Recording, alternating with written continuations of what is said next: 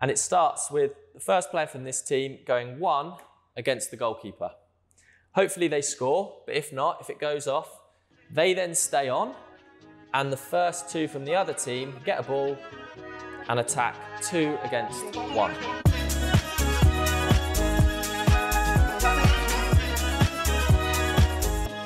Hello, my name's Ian Parkes. I'm a youth coach developer and I also support coaches using futsal.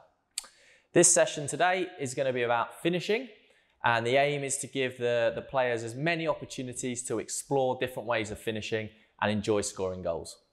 So we've arrived at our venue and we've got the full pitch, but often we only have a third. So I'm just going to start by making it clear that we're working in this area of the pitch. We won't need this full area because they're only under nines. Um, if we've got 10 players turning up for training, for example, we'd have typically a 5v5 game going on. The recommended size for that is 40 by 30, which kind of takes us out to here. But because we're looking at finishing, we're going to make the pitch a little bit smaller, a little bit narrower to try and increase the chances of finishing. So we're probably looking at sort of 35 long by maybe 25 wide.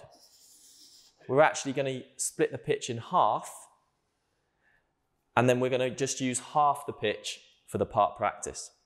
So this is the goal for the big 5v5 game. But when we come to the part, we'll bring the goal up to the halfway line and play in here. So if we've got our 10 players, goalkeeper and four outfield behind this one. The other end, goalkeeper and four outfield here. We'll have a set of balls in each of the goals, ready for the players to start the practice. And it starts with the first player from this team going one against the goalkeeper.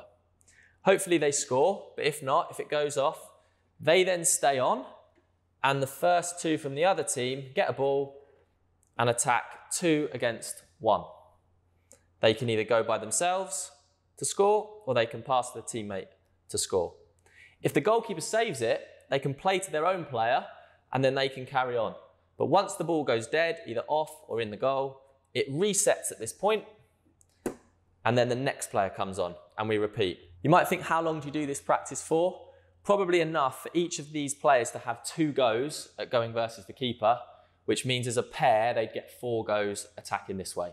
At that point, you switch over so that the yellows then get the chance to start as the 1v the keeper, and the blues are then playing 2v1. Depending on how the players enjoy it, you might do a couple of goes, or you might get straight back to your whole game of 5v5. So some might say, well, I haven't got two goalkeepers. If that's the case, under nines, I'd be encouraging all the players to have a go and just rotate round because I think it's good for them. If you haven't got the perfect number of 10, maybe you've got nine turn up, I'd play exactly the same game, but one of these players would just have to go twice. If it's too easy for the players, instead of going one versus the goalkeeper, you could just get one of them to come out from the start and play 1v1 instead of one versus the keeper. And the same, instead of playing two versus one, at that point, you could ask another player to come out and play for two versus two so that it's matched up. If it's too difficult, then I think we still keep it as the one versus the goalkeeper. But when the two come out, it might be that instead of the one staying to defend, they just drop back and the two play against the keeper. They still get exposure to deciding whether to take it by themselves or pass to a mate for a quick finish.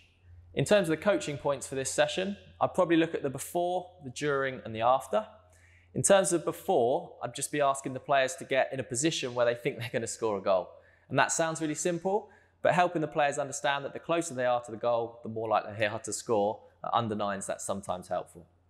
During, getting them to experiment with different types of finish. Can they use the laces, the side of their foot, maybe a toe poke, maybe a chip? Get them to explore and experiment but also the simple message of aim for the corners can sometimes be helpful.